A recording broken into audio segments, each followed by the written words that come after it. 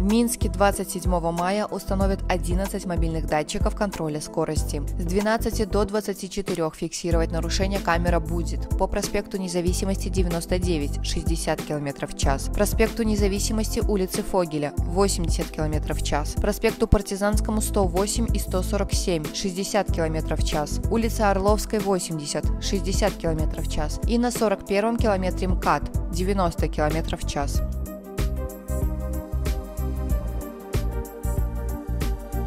С 19.30 до 3.00 они будут включены на 17-м километре МКАД 90 км в час и улице Денисовской в районе пересечения с переулком Соколянского 60 км в час.